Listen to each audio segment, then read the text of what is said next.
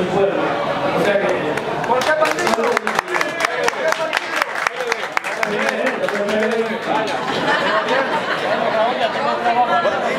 Raúl, representación de la línea. Ok. Por otro lado, esto, para completar tu pregunta, una de las cosas que me cataloga en este medio, por ejemplo, cuando se pone el papel, digamos, siempre se lleva a cabo. No pueden lograr que la pinta que Bravo, bravo. Ok, Raúl, representación de la línea noroeste, la tierra que considero yo que tú surgiste, Mao.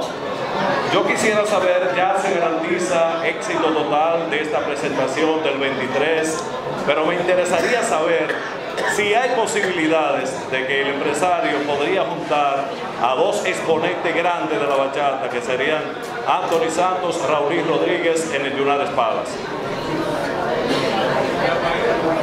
¿La pregunta para mí o para Raúl?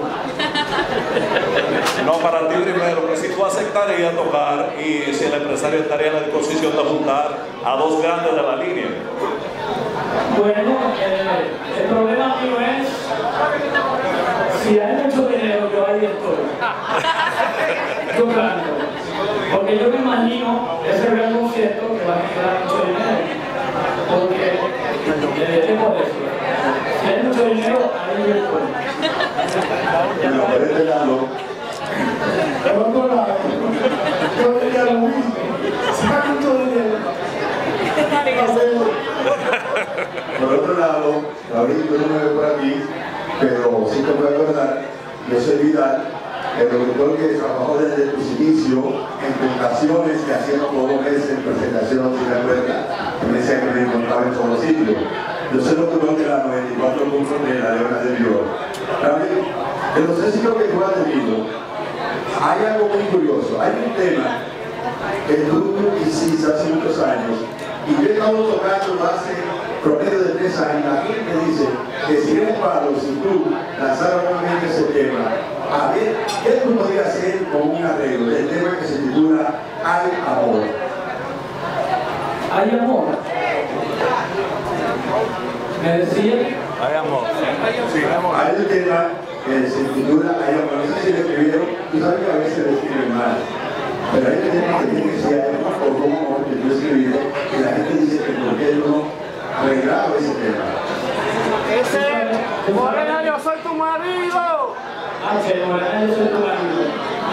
Tú sabes que mucha gente eh, siempre me ha dicho lo mismo. Tú tienes muchas canciones viejas que con un nuevo arreglo son canciones nuevas y que la gente yo sé que lo va a seguir disfrutando porque son canciones bonitas, con una bonita letra y, y pueden ser éxito también eh, seguir eh, en el gusto de toda la gente. Y bueno, estoy analizando eso para, para- para un futuro eh, no muy lejano, hacer un disco con todas esas canciones nuevas, pero un arreglo más juvenil. Así que eso viene. Carolina, una dirección que esa respuesta sobre que no había dinero, las dos, las tres veces que está invitado a Romero, que no ha habido mucho dinero.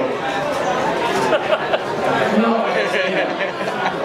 las veces eh, que Romeo me ha invitado, eh, me invitó aquí en Nueva York, eh, las condiciones eh, no estaban para mí. O sea que, no, creo que